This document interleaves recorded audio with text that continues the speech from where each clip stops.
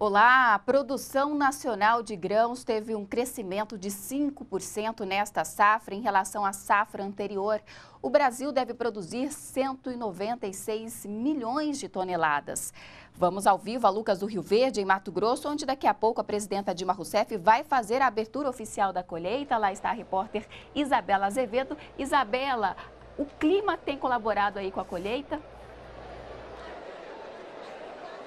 Olá, Malu, bom dia a você, bom dia a todos. O tempo tem colaborado sim aqui em Mato Grosso. Ontem, Lucas do Rio Verde deu uma chuviscada, deu uma chuvinha, mas nada que tenha atrapalhado muito. Isso porque na colheita, geralmente, é necessário um tempo seco, principalmente para a soja. Mas é claro que a colheita varia é, em várias regiões do país. Tem lugares onde a estiagem é muito longa, outros lugares tem vários períodos de chuvas. Mas, no geral, os produtores têm relatado alta produtividade na colheita. Para você ter uma uma ideia do total de 196 milhões de toneladas de soja que devem ser colhidos este ano, segundo dados da Companhia Nacional de Abastecimento, a Conab, quase metade deve ser de soja. Alta produtividade da soja. Inclusive, a presidência de Dilma Rousseff deve chegar aqui a pouco, daqui a pouquinho, aqui no evento que vai iniciar a colheita deste ano.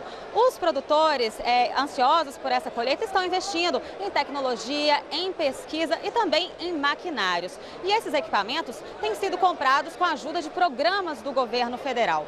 Confira na reportagem de Daniela Almeida.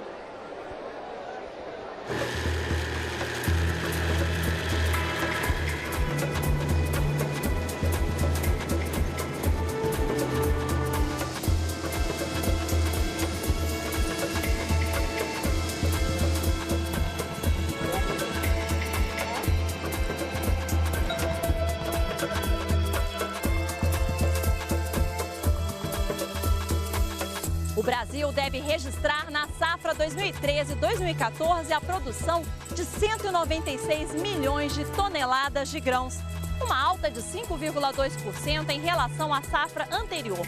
O destaque no levantamento feito pela Conab é para a soja, que deve ter uma alta de 10% neste período. A produção estimada é de 90 milhões de toneladas de grãos de soja. E o estado do Mato Grosso é um dos principais responsáveis pelo bom desempenho da agricultura brasileira. O Mato Grosso foi, é, junto com as políticas implementadas pelo governo federal, com certeza o, país, o estado que mais avançou ne, ne, nessa questão da produção de soja nos últimos 10 anos evoluiu e avançou muito, principalmente em função de algumas políticas agrícolas direcionadas para o centro-oeste brasileiro. Sozinho, o Mato Grosso produz mais de 30% da soja brasileira. E as regiões do estado, conhecidas como Meio Norte e Nortão, representam a maior área produtora do grão no país. Temos uh, um regime de chuva muito praticamente regular né, e onde conseguimos hoje fazer praticamente quase que em 70%, 80% da nossa safra de soja, conseguimos fazer uma segunda safra ou de algodão ou de milho.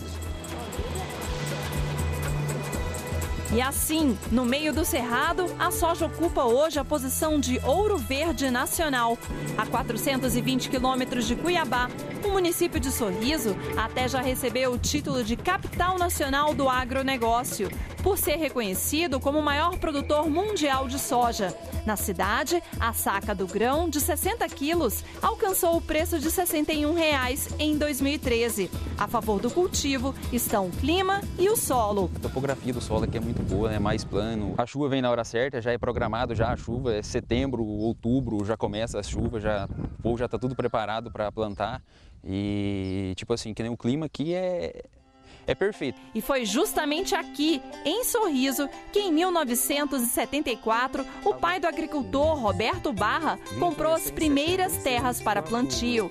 O palpite da família, que saiu de Minas Gerais, sobre o potencial da região foi certeiro. Desde a década de 1980, Roberto produz soja e milho na fazenda Santa Cândida. De lá para cá, a propriedade aumentou 10 vezes o tamanho original.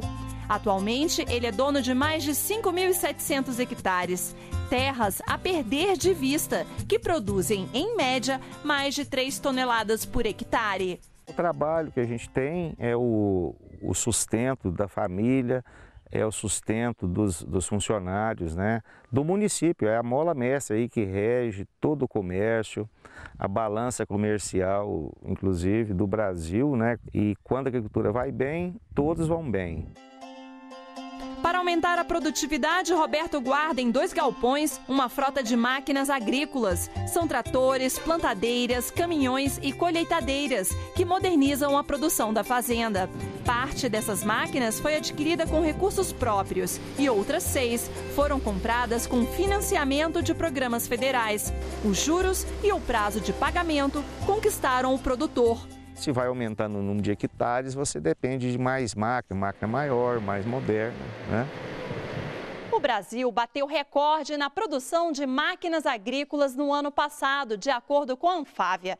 De janeiro a novembro de 2013, foram vendidas mais de 77 mil unidades. E o crédito rural, oferecido pelo governo brasileiro, impulsionou o comércio dessas máquinas modernas como tratores e colheitadeiras. Essa aqui, por exemplo, financiada com recursos do BNDES, é totalmente mecanizada, guiada por satélites e vai ser usada pela primeira vez na colheita de grãos de soja em fevereiro deste ano. São bilhões e bilhões que foram disponibilizados para que o produtor possa comprar em oito anos, também com taxas de juros agora com 4%, comprar máquina nova, automatizada, que dada aquela própria máquina já sai umidade da sua produção, quantidade que está colhendo por hectare, fazer agricultura extremamente eficiente, como tem, além de comprar máquina como colheitadeira, trator, plantadeira e também hoje poder financiar, inclusive o seu caminhão para puxar a sua produção. Barra ainda planeja construir os próprios silos para armazenar o milho e a soja colhidos na fazenda. Para isso, espera contar com a linha de crédito prevista no Plano Safra 2013-2014. A intenção é, é de entrar com um projeto mesmo para obter e construir um armazém na fazenda. Aí você economiza até o frete daqui para Lucas. Por aqui, o agronegócio em franco crescimento virou sinônimo de prosperidade. A boa colheita é excelente para o grande produtor e melhor ainda para a cadeia de empregos que a atividade gera. Desta forma, Sorriso deixa de ser apenas nome de município. Nos últimos anos, estampa também a felicidade no rosto de quem vive da agricultura no norte mato-grossense. É o caso do catarinense Nelson, de 41 anos. Há oito anos, trabalha como gerente da Fazenda Santa Cândida. E nem em sonho, Nelson pensa em mudar de cidade ou de profissão. Casei, tenho uma esposa, tenho já minha própria casa na cidade. Tem vontade de voltar? Só para passear.